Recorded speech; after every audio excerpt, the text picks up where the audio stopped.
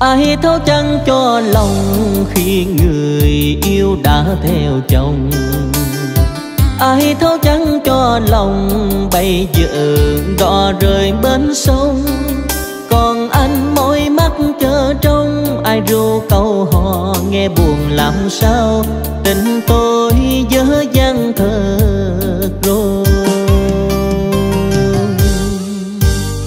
Anh nhớ xưa thơ dài em